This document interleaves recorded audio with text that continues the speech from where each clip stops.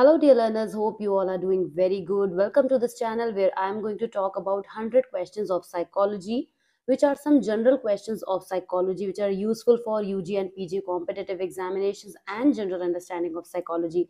Let's quickly discuss all the questions. We have total 100 questions in this PDF, and you can receive this PDF from our Telegram channel. The link you will find in the description box below. Let's begin. Question number one What is psychology? It is the scientific study of mental processes and behavior. Question number two Who observes and records that how people and other animals relate to one another and to the environment? They are called psychologists. A broad field that explores a variety of questions about thought, feeling, and actions is known as psychology. Systematic assessment that providing uh, information on political views, customer buying habits, and many other topics. It is called survey is a technical term in psychology which is known as survey. Otherwise, also you must have heard about it. An examination for which average level of performance have been established and which has shown consistent results is called standardized test. You can also understand it as a definition of standardized test. Question number six Psychologists use which test to help to measure abilities, aptitude, interest, and personality traits? These are standardized tests again. Which tests yield clues to a person's inner feelings? These are projective tests. Projective tests take out your information from your unconscious, which helps a psychologist to discover as confirm cause and effect relationship to in behavior. These are called experimentation. A cause and effect relationship is always and always established in an experiment. So the correct answer is experimentation. Which method enables scientists to test a theory under controlled conditions? Now, this is again experimental method. So you can also understand what all happens in an experimental method. The origin of psychology are often traced to the ancient Greek philosopher who was chiefly interested in what the human mind could accomplish. Now, the correct name is Aristotle, who believed that the mind or soul was separate from the body. Again, the answer is Aristotle.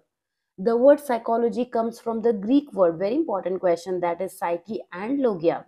The word psyche means mind or soul, and the logia means study. So, together they make the study of mind or soul. Which philosopher described the body and mind as separate structures that strongly influenced one another? Correct answer is Rene Descartes. The belief of Descartes that people were born with the ability to think and reason is called. The correct answer is nativism. Nativism was rejected in the late 1600s and early 1700s by a group of philosophers called empiricists, who began the first systematic studies of sensation and perception, John P. Muller and Hermann von Helmholtz. When was the first systematic studies of sensation and perception began? In the mid 1800s. Who was Hermann von Helmholtz? He was a German physicist and physiologist who founded the world's first psychology laboratory? And the correct answer is William James. When was the first psychology laboratory founded? It was in 1875. Psychology laboratory was established in Germany in 1879. Who established psychology laboratory in Germany? Wilhelm Wundt. He is also known as father of psychology. Who published the first journal of experimental psychology? Again, Wilhelm Wundt is the correct answer. Whose works were marked the beginning of psychology as a distinct field from philosophy. These are the two names William Wundt and William James.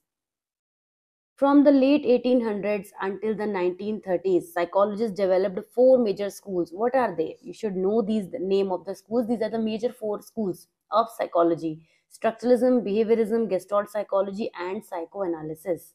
Structuralism grew out of the work of which one? So for structuralism, William James and their associated worked. The structuralists primarily used a method of research called introspection. This introspection method comes under structuralism. When was behaviorism introduced? In 1913, very important question. And again, question number 32 is also very important. Who introduced behaviorism? John B. Watson.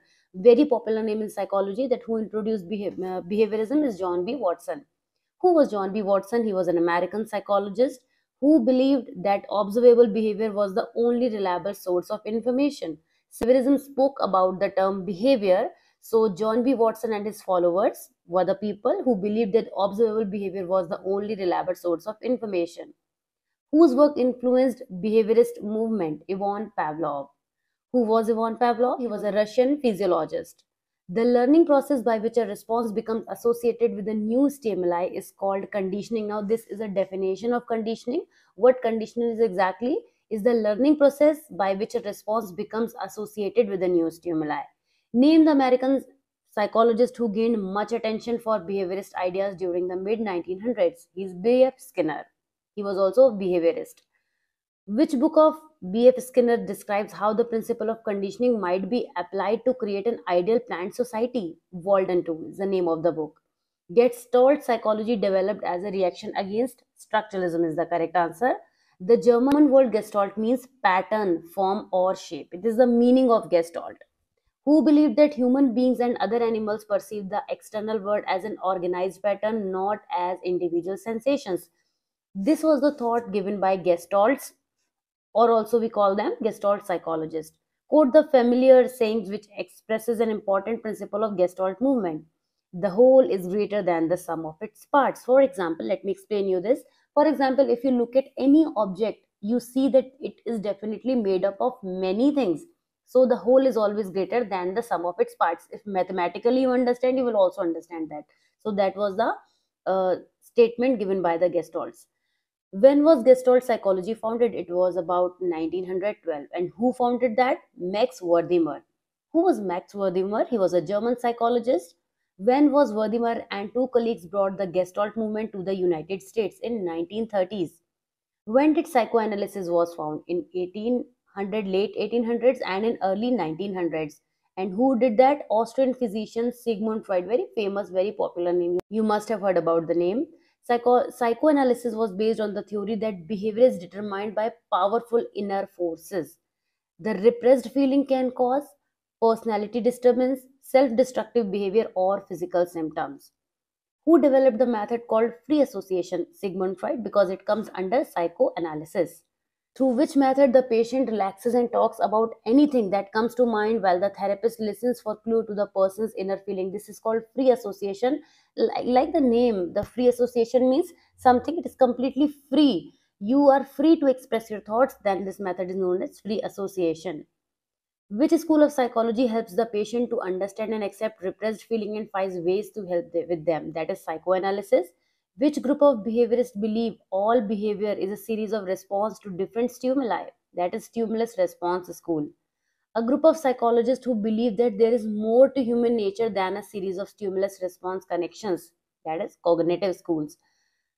Which school of modern psychology developed as an alternative to behaviorism and psychoanalysis? That is humanistic psychology. As you are seeing the name, you will get this PDF on the Telegram channel through the Telegram channel so you can also understand as the major statements. If you want to understand about cognitive school you can see the question as a statement of cognitive school. Moving on to question number 58 now.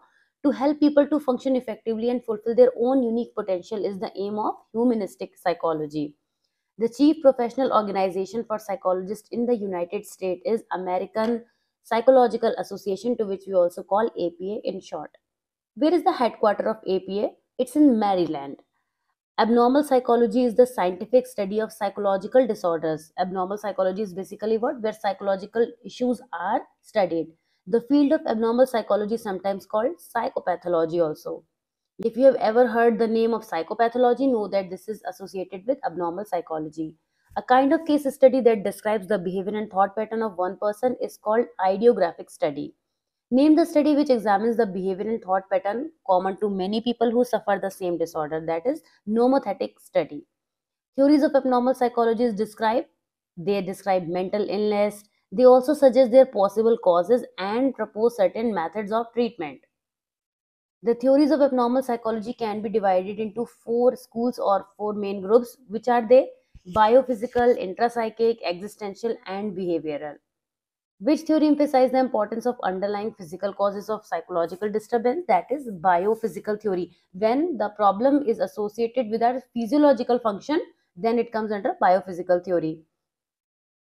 Which are the two main groups included in psychological disorders or disturbances? Medical condition, those related to use of drug or medication.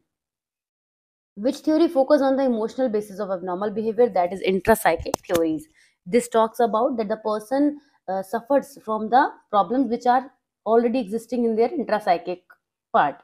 Which theorists believe that conflict is in early childhood cause people to worry to have other unpleasant feeling throughout life. That is intrapsychic theorist.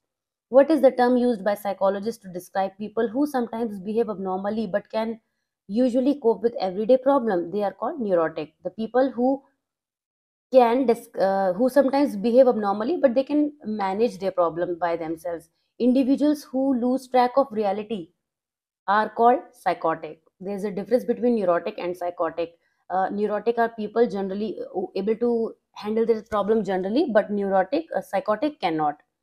Some psychotics believing in very unrealistic ideas they are called delusions. These are the false belief psychotics thinks perceptions such as hearing voices or seeing visions are real.